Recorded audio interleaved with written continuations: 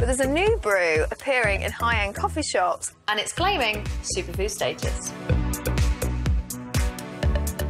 It's supposed to reduce the risk of coronary heart disease.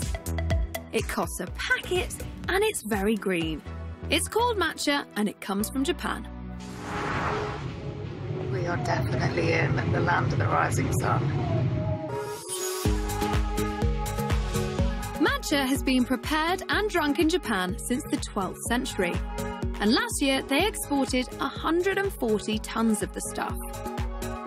Japan has consistently lower rates of heart disease compared to the UK. Studies point to their low-fat diet, but could matcha also be the key to Japanese heart health? Matcha isn't just a tea they drink in Japan, it's a flavour they love, and they use it in just about anything. You only have to go into a Japanese supermarket to fully appreciate how much they're into matcha, okay? Matcha chocolates, premium matcha candy, matcha crisps. But it's tea I'm after, and to find that, I'm leaving Tokyo behind and heading south to Japan's tea growing region, Shizuoka, where they grow nearly half of Japan's green tea. Here, they take matcha drinking very seriously. I'm here to take part in a matcha tea ceremony, which has been practiced in Japan in this form since the 16th century. The tea used is the very highest quality, but it's not leaf tea like I was expecting. Can I see the matcha? Oh, it's a powder. はい、そうです。And then you mix it up with water. It's not an infusion.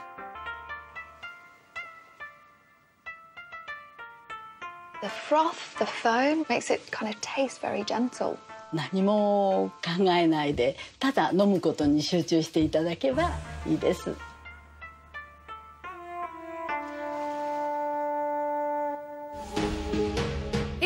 It's matcha is highly revered here, but to see how it's produced, I'm going to a tea plantation high up in the Shizuoka Mountains. Wow, we are definitely in tea country. Japan produces nearly 100,000 tons of tea a year, but only 1% is matcha. So, what is so special about this powder? Oh, konnichiwa! To find out, I'm meeting Miwa, a local plantation owner. So this is your tea? Yes, this field is matcha. It's specially um, cultivating. Its net is for shading. Yes. Oh, so you have to shade the tea plants? Yes. Why is that? If we cultivating so under the shade, uh, leaf is so more bright and so white, beautiful green and soft. So ah. yes.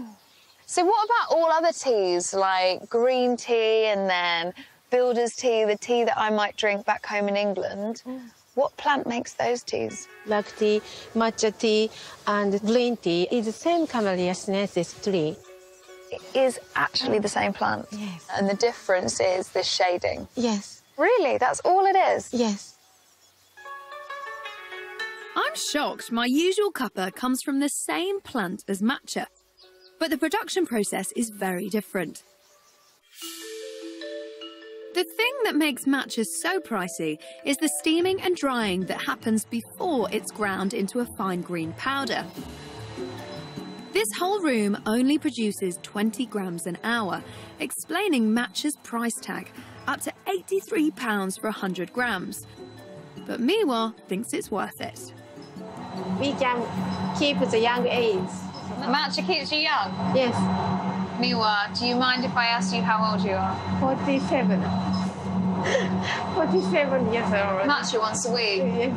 Maybe I should just be smearing this matcha all over my face. Who knows? that is actually really good. But to find out if matcha is good for the heart, I'm heading to Shizuoka University's Tea Science Centre. I'm here to meet a professor who is hopefully going to help me get to the bottom of whether or not matcha really is a superfood. Professor Nakamura has spent nearly 40 years studying tea, He's a world leading expert on the health benefits of green tea and matcha. Is matcha scientifically good for my health? 一番基本的な作用を示すのはその酸活性化酸素から細胞や遺伝子をですね防御する 働きがこのマッチは非常に強く持っているからです When free radicals flow through our blood, they can damage the artery wall. Free flowing blood platelets can stick to the rough artery wall, forming blood clots. When the clots break free, they can travel to the heart and brain, causing heart attacks and strokes.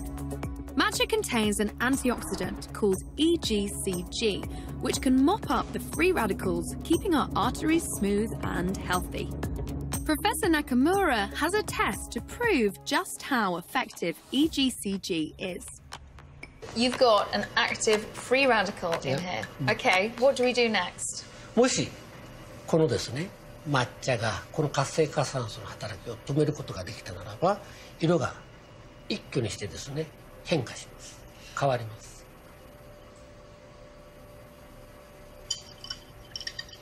Oh, look at that. It's completely changed colour.